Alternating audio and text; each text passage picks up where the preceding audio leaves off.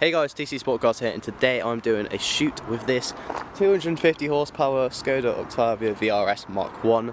Uh, it's a beast. Uh, I'll take you around the car now. Okay, so starting off in the engine bay we have a KO3S hybrid turbo around the back there. We have uh, 4 bar pressure vacuum pump, uh, up, upgraded injectors, I'm literally reading this off a phone. Uh, front mount intercooler down here, looks very nice.